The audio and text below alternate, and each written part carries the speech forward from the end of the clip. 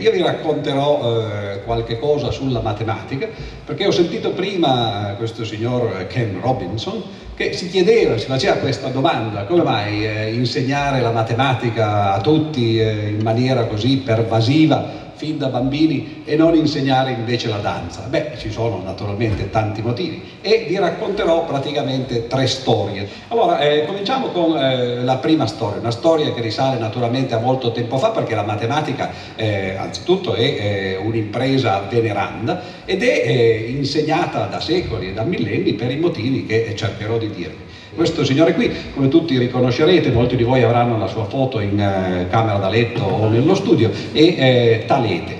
Talete, tutti ce lo ricordiamo, eh, è quello del teorema di Talete, naturalmente, no? ma pochi si ricorderanno come mai c'è questo teorema di Talete e che cos'è che Talete ha iniziato. Beh, Talete, come molti di noi, amava andare in vacanza, molti saranno appena tornati dalle vacanze, e fece una gita, prossima eh, slide, a Ghisa, dove molti di voi saranno stati, tra l'altro, eh, nel corso della loro vita.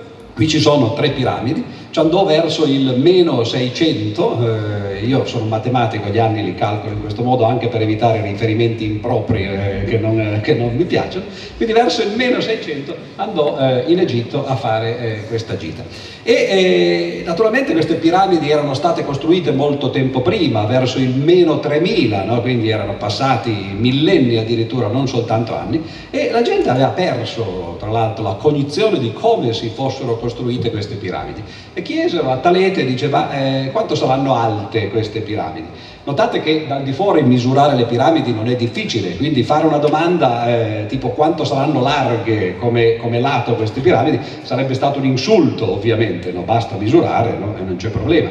Sapere per esempio la pendenza, cioè qual è la distanza tra la punta della piramide e eh, il lato, di nuovo basta misurarlo, eccetera. Ma l'altezza, come si fa a misurare l'altezza di una piramide? Beh, bisognerebbe esserci dentro, no? E questo non si può fare, ovviamente, perlomeno non si poteva fare allora e adesso la conservazione le belle arti non ci impedirebbero di fare. E eh, Talete pensò semplicemente, e questo è quello che fanno i matematici, spesso quando ci riescono, pensò e trovò la soluzione del problema. Io non ve la dico per le piramidi perché è un po' complicata, la posso dire per gli obelischi. Eh, gli obelischi sono simili, naturalmente le piramidi sono un po' più stretti, no? naturalmente, no? sono dei grandi eh, monumenti, molti li avranno visti, anche perché gli occidentali se li sono fregati tutti, noi li hanno portati nelle piazze no, delle, nostre, delle, nostre, città. E come si fa a misurare l'altezza di un obelisco? Beh certo ci si può arrampicare sopra, tirare giù una corda eccetera, ma usando il cervello. Beh Talete capì che eh, era abbastanza semplice, in pratica basta piantare un bastone oppure essere semplicemente piantati sul terreno, guardare l'ombra che si fa sul terreno o che fa questo bastone sul terreno, guardare l'ombra che fa eh, l'obelisco e poi eh, sapere, eh, accorgersi che in realtà ci sono due triangoli, uno è il triangolo formato dal bastone e dall'ombra e l'altro è il triangolo formato dall'obelisco e dall'ombra. Del triangolo piccolo si conosce tutto, si conosce l'altezza e l'ombra, del triangolo grande si conosce solo l'ombra, però si fanno i triangoli simili. Il teorema di Talete è precisamente il teorema che ci dice che nei triangoli simili i lati corrispondenti sono proporzionali fra di loro. Quindi quando si hanno due triangoli simili, se si conoscono i lati di uno e si conosce un lato dell'altro, si può ottenere eh, anche il lato eh, sconosciuto. Vi lascio naturalmente con eh, la domanda come si fa a calcolare l'altezza della piramide perché la cosa è un po' più complicata. L'ombra, una parte dell'ombra della piramide sta dentro la piramide, quindi lì bisogna giocare un pochettino meglio e naturalmente Talete lo fece e divenne famoso. Beh, da quel momento il motivo, o uno dei motivi, il motivo principale per studiare la matematica e per svilupparla è stato risolvere problemi di questo genere. Questo signore non è più Talete naturalmente, è Galileo Galilei, che molti di voi eh, conosceranno. Lo scorso anno era il 400 anniversario delle osservazioni di Galileo al Cannocchiale. Ebbene, Galileo scrisse una bellissima pagina in uno dei suoi libri, Il Saggiatore, che ci diceva perché dobbiamo studiare per fini utilitaristici la matematica. Perché la natura, diceva Galileo, è un grande libro, noi vogliamo leggere questo libro, ma per poter leggere i libri è necessario conoscere la lingua e l'alfabeto che si usano per scrivere questi libri. Ebbene, il libro della natura, questo grande libro, è scritto in linguaggio matematico. E allora questo è il motivo per cui, queste sono le, tra l'altro le eh, immagini che Galileo fece quando cominciò a guardare la Luna col cannocchiale, dicevo questo è il motivo, il primo motivo, la prima risposta a Ken Robinson, perché si insegna la matematica e non la danza? Perché la matematica serve per rispondere a queste domande. Naturalmente poi la storia è andata molto avanti, il prossimo personaggio che vedrete lo conoscete tutti, è Albert Einstein, è un po' la fine, o meglio, di un periodo, comunque il punto di arrivo di questo sviluppo della matematica come linguaggio della scienza. Ma questa era solo la prima storia. Ci sono altre motivazioni. Cosa rimane oltre la motivazione utilitaristica eh, alla matematica? Beh, vediamo una seconda storia. Questo potrebbe essere di nuovo Talete, naturalmente, perché sono tutti uguali, no? questi antichi greci, no? però dicono che invece sia Pitagora. Pitagora, anche lui naturalmente grandissimo matematico, tutti ricorderete il teorema di Pitagora che adesso canteremo in coro tutti insieme, no? perché eh, ce lo ricordiamo fin dalle elementari, poi naturalmente tutti insieme diremo la dimostrazione del teorema di Pitagora, questo sarebbe più divertente no? farlo. Però qui vi vorrei raccontare una storia legata a Pitagora un po' differente, perché Pitagora ebbe un'intuizione ancora più grande, ancora più maestosa di quella di Talete, usare la matematica non soltanto a fini utilitaristici come linguaggio della scienza, ma addirittura a fini metafisici, andare oltre l'universo, cioè costruire una filosofia basata eh, sulla eh, matematica.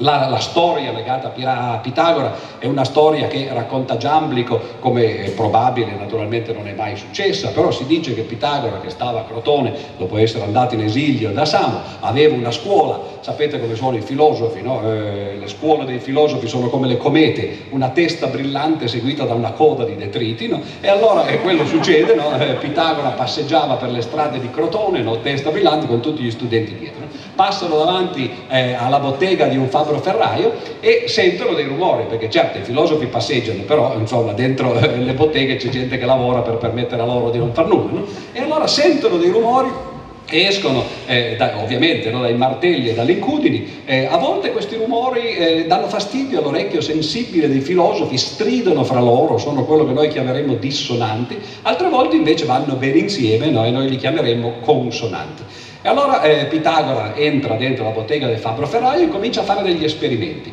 Il primo esperimento è l'esperimento che poteva fare un filosofo, prende due martelli uguali, li batte sull'incudine e si accorge che i suoni che vengono fuori sono uguali. Vabbè, certo, quello era ovvio, no? Cioè, per quello bastava il filosofo. Ma poi, eh, naturalmente, no, ci voleva il matematico per fare gli altri esperimenti. Prende due martelli, uno dei quali è il doppio dell'altro, e l'altro la metà di uno, batte questi due martelli sull'incudine e si accorge di una cosa interessante.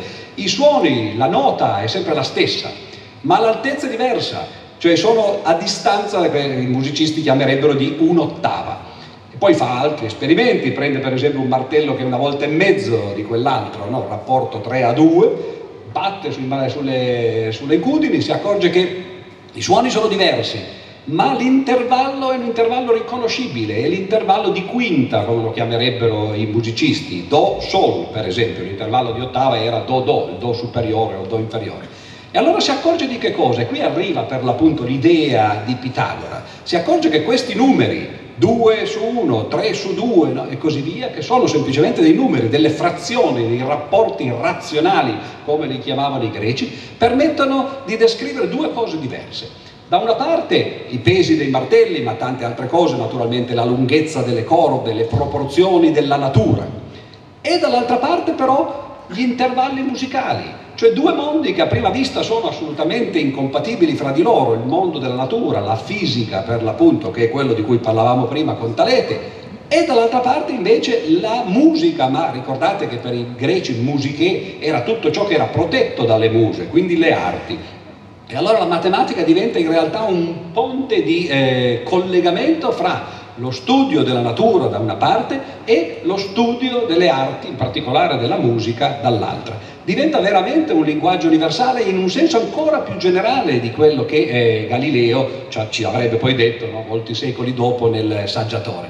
E questa è l'idea, l'idea di Pitagora che tutto è numero nel mondo, tutto è numero razionale, gli interi e i loro rapporti, poi ci si dimentica del numero e il motto diventa tutto è razionale. Di lì comincia in qualche modo la filosofia del razionalismo, cercare di capire con la ragione l'essenza del mondo. E questa essenza va naturalmente qui nella natura, questa è eh, la, la famosa sezione aurea, la spirale aurea che si ritrova nel, nel Nautilus, più o meno, ma ci sono altre cose che si possono vedere no, in, eh, nella natura, Pitagora incomincia a capire no, che non soltanto il, la musica eh, che, che, si può suonare con gli strumenti musicali, ma la musica delle sfere, l'astronomia può essere descritta dalla matematica. E in effetti la matematica da quel momento e poi per eh, praticamente duemila anni sarà il linguaggio che collega la, eh, la teoria da una parte e l'astronomia dall'altra. Credo che la prossima slide dovrebbe essere l'immagine di un signore che eh, qualcuno di voi conoscerà, questo è Keplero,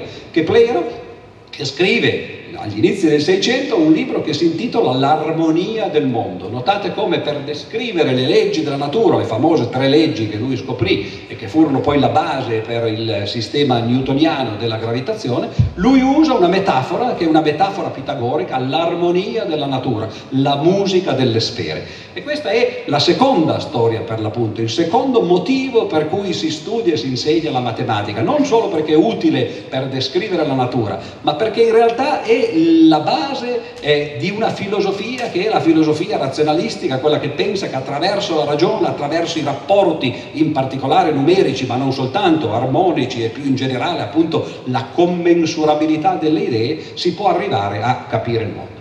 Ma c'è un terzo motivo per studiarla ed è eh, l'ultima delle storie che vi racconto. Questo signore, eh, lo riconoscerete, è la scuola di Atene di eh, Raffaello nelle stanze vaticane, questo signore è Euclide, Euclide che sta disegnando con il compasso qualche cosa su una lavagnetta, Euclide è un po' successivo ai due personaggi di cui abbiamo parlato poco fa, perché eh, visse, ammesso che sia mai vissuto, perché di Euclide si sa pochissimo, c'è soltanto la sua opera, ora voi direte non è poco, sì, ma non si sa chi è che ha scritto quest'opera, quindi potrebbe anche non essere mai esistito, ma l'opera c'è, si chiama Gli elementi di matematica, appunto che vengono attribuiti ad Euclide, sono di circa il meno 300, poco dopo che Alessandro, che è stato citato eh, qualche tempo fa, fece la sua impresa leggendaria, andò fino alle Indie, però andando verso le Indie, prima eh, passò in Egitto, fondò la città di Alessandria, poi la lasciò naturalmente in eredità ai Tolomei e eh, Euclide visse più o meno in quel periodo. Che cosa c'è in quest'opera di Euclide? Beh, anzitutto c'è un monumento veramente alla matematica in particolare, ma al pensiero razionale più in generale. Un libro, l'unico libro che abbia potuto competere fino ad oggi con la Bibbia. I due libri fondamentali, perlomeno per il pensiero occidentale, sono proprio questi. Un testo che fino allo scorso secolo, fino all'Ottocento, alla fine dell'Ottocento, agli inizi del Novecento, veniva ancora usato come libro di testo. Ebbene, qual è la caratteristica del eh, libro di Euclide? È, è quella che eh, in realtà Raffaello ci ha fatto vedere. Euclide ce lo rappresenta attraverso eh, un compasso l'idea di disegnare, di fare una geometria che si potesse fare tutta attraverso l'uso di due soli strumenti, la riga per l'appunto per tirare delle rette o dei, dei segmenti di rette e il compasso per tirare dei cerchi o degli archi di cerchi. Da dove arriva questa fissazione? Arriva da un altro filosofo, da Platone, quindi un po' precedente, meno 400, e Platone in un suo dialogo, non, non uno dei più importanti, nel Filebo, aveva proprio detto questo, che in realtà eh, quando noi cerchiamo di rappresentare la natura, stiamo facendo, voi sapete la teoria delle idee, secondo lui la vera realtà era quella che stava nell'iperuranio, quella che c'è qui è soltanto un riflesso, una proiezione di quella che sta lassù, no? le vere realtà sono le idee e gli oggetti del mondo sensibile sono delle proiezioni di queste idee.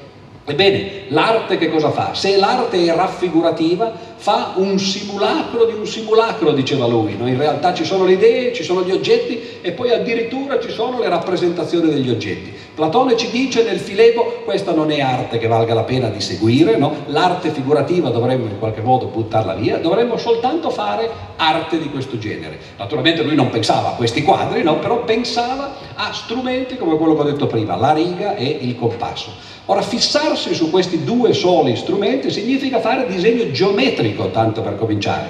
E tutti coloro che sono andati a scuola, che hanno fatto il liceo, gli istituti tecnici, eccetera, saranno, si saranno esercitati con la riga ed il compasso. Il disegno geometrico è la base del disegno, ma è anche la base dell'arte moderna perché come vedete qui, no, questo Mondrian naturalmente, no, e poi ci saranno dei Kandinsky, eccetera, l'arte moderna in fondo è la realizzazione di questo sogno platonico, di fare un'arte che non sia arte rappresentativa, che non rappresenti le povere forme del nostro mondo, cioè animali, pesci, piante, uccelli, uomini e così via, bensì rappresenti quello che si potrebbe immaginare siano le idee.